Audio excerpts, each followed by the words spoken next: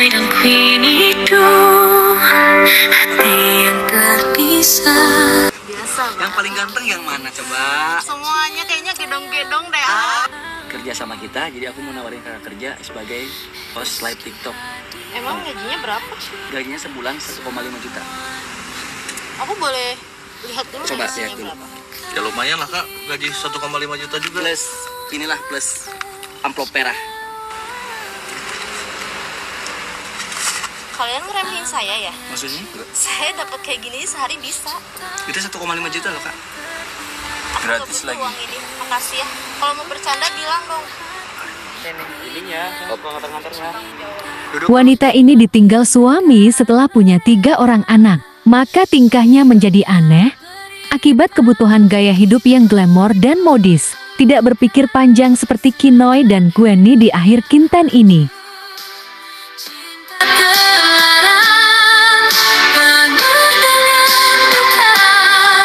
Setelah wanita malam ini memanggil preman, dia marah karena merasa dilecehkan mau diberi uang gaji bulanan 1,5 juta sebulan bekerja sebagai admin kreator. Karena dia harus membesarkan tiga orang anak yang ditinggal suami. Itulah pentingnya selektif memilih calon suami.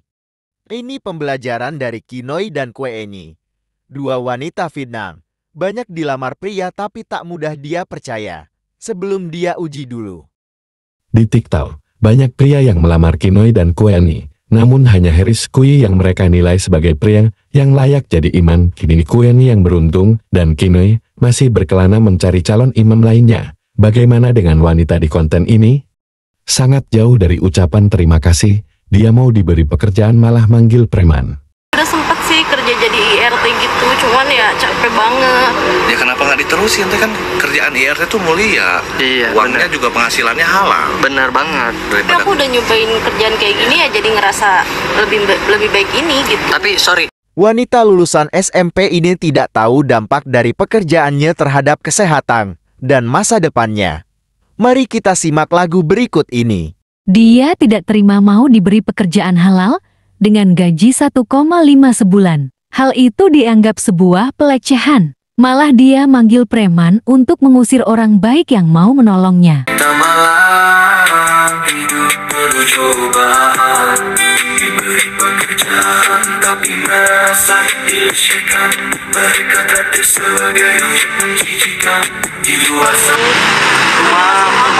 ya. Rumah belum, tapi masih ngontrak sih.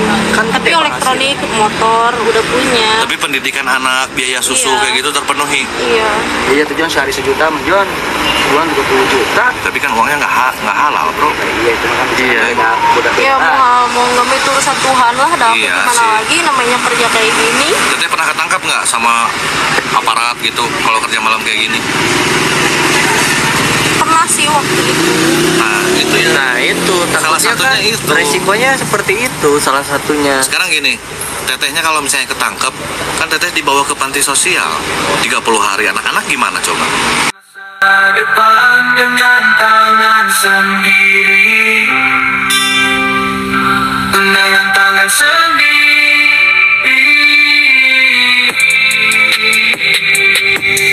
Om kita malam hidup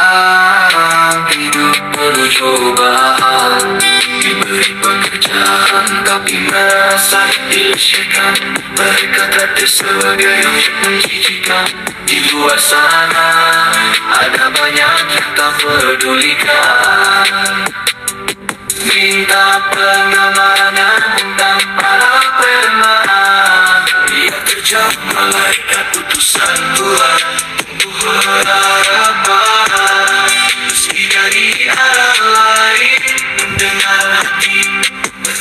Mulai bicara kebaikan Oh, lede sekolah deh gitu John. Sudah lo deh. Aduh. Diserap bijut nyatanya. Ini kenapa sih harus digini digini gini aku malu. Enggak. Jadi gini kak, kita jelasin ya. Coba Jadi sebetulnya Biar Iya, jelasin, nggak salah paham. kita itu konten kreator kak, tahu kan? Masa depan dengan tangan sendiri Itu kerja, mau baik, kita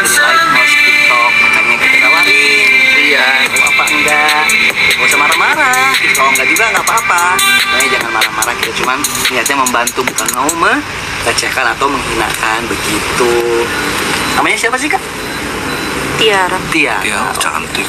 Itu nama asli atau nama malam? Tiara kan Ella Guna tuh Nama Jon. malam. Kalau nama aslinya? Sofia. Tuh, Oh, bagus tuh. Jadi nggak mau ini intinya tuh kerja di kita gimana keputusannya Teteh? Enggak. nggak mau Kalau sekarang belum sih. tetap John John John itu saja John ya mah belum sih.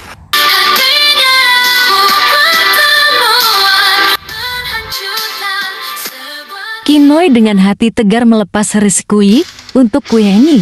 Kini Kinoi sering buka tutup hijab karena belum bersahadat. Mungkin masih ada pria dari Indonesia yang mau mencintainya, mengajari Islam yang benar. Kini Kinoi sudah bisa baca Fatihah, baca Quran, dan bisa bersahadat. Namun belum Islam. Yuk menunggu calon imam. Wanita malam yang ada di konten ini mengaku muslim, tapi tidak menjalankan perintah agama karena himpitan ekonomi. Tapi Kinoi terbalik keadaannya, Kinoi telah menjalankan perintah agama.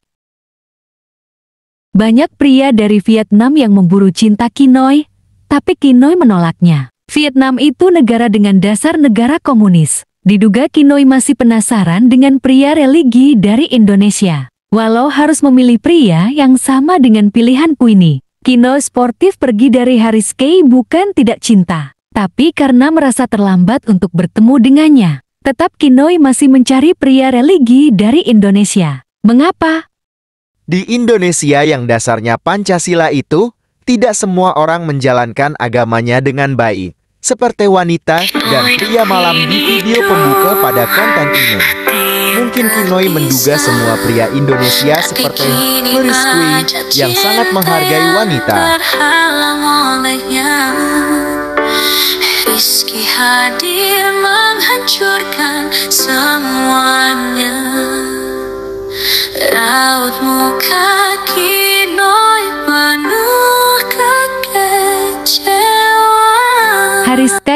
tidak pernah ada hubungan cinta dengan Kinoi. Maka dia pergi dengan baik-baik walau hatinya kecewa. Itu sangat wajar dan manusiawi. Lebih baik berjuang maksimal dulu, ketimbang ditinggal pria setelah punya tiga anak seperti di awal konten ini.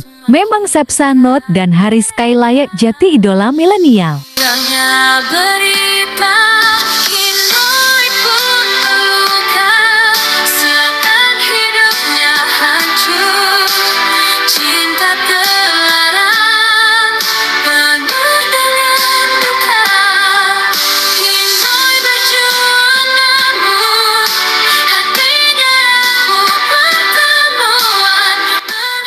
Saat di Vietnam Kinoi sempat nembak Haris Kui, tapi tidak dijawab.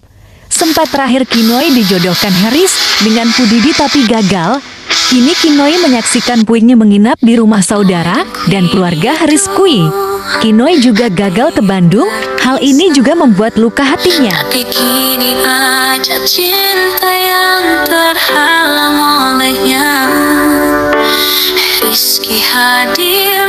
Menghancurkan semuanya. Raut muka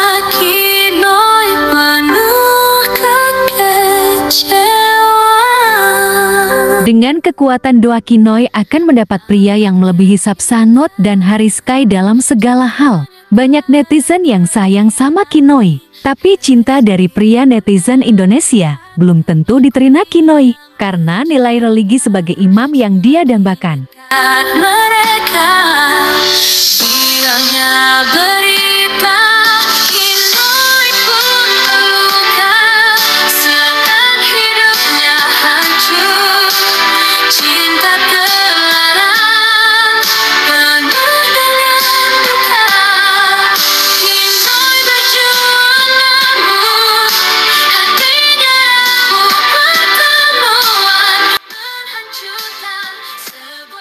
Kinoi dengan hati tegar melepas Rizkui untuk Kuyeni. Kini Kinoi sering buka tutup hijab karena belum bersahadat. Mungkin masih ada pria dari Indonesia yang mau mencintainya, mengajari Islam yang benar. Kini Kinoi sudah bisa baca Fatihah, baca Quran, dan bisa bersahadat. Namun belum Islam. Yuk menunggu calon imam. Untungnya Kinoy saat ini bisa berkenalan dengan Cepot dari Jawa Barat. Walau Cepot mukanya merah, tapi dia pandai melucu. Semoga ada netizen yang baik ke Kinoy seperti Cepot ini. Apakah penonton ada yang mau dengan Kinoy? Di Vietnam juga banyak pria baik dan religius. Mengapa harus pria dari Indonesia? Mungkin karena menilai Sapsanot dan Haris K adalah model perangai pria Indonesia pada umumnya. Padahal di Indonesia tidak semua seperti Sanut dan Haris Kai, seperti orang yang ada di awal konten ini. Mereka yang ada di awal konten ini, orang baik, tapi terpaksa berbuat seperti itu karena usia baru duduk di SMP sudah menikah. Kebetulan prianya tidak sebaik Sanut dan Haris Kai. Kinoy kini sudah 27 tahun, sudah layak hidup berkeluarga. Kinoy sudah bisa hidup mandiri sebagai guru dan bekerja juga jadi model dan di media sosial TikTok. Kinoy sesungguhnya orang dari keluarga berada, tidak susah mencari pria. Masalahnya apa? Tampaknya mencari pria soleh yang layak jati imam itu tidak mudah. Haris K orang baik yang jati idolanya. Dia yakin masih banyak pria yang lebih baik dari Sapsanot dan Haris K di Indonesia. Karena jodoh itu kuasa Allah. Mari kita sikapi wanita lulusan SMP yang sudah punya tiga orang anak ini. Dia ditinggal suaminya. Hati Queenie yang tercinta Semakin dekat mereka Bilangnya berita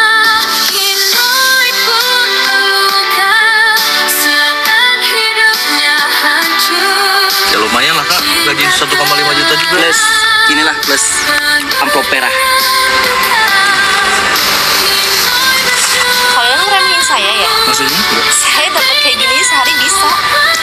5 juta loh kak. Gratis lagi. uang ini makasih ya. Kalau mau bercanda bilang dong. Eh kak eh. Kak kak, kak. Hey. Eh, kita ngobrol baik-baik ah siapanya? Ah eh, siapanya nih? ininya kan suka nganter-nganternya. Duduk dulu aja kak. Santai dulu aja. Ayo kita ngobrol baik-baik. Ngobrol baik-baik gerak. Kenapa neng? Ini naon di kamera itu biasa tuh mereka resek. Yang di kamera-kamera? Eh, Saya, santai, siapa? santai, ah, Ah. santai. Orangnya nego Iya nih, santai. tapi ke sini jadi kayak gitu. Eh, Apa sih? Apa sih? Pusing aku. Nggak ya? Ah, kenapa? Eh, neng, neng, kalian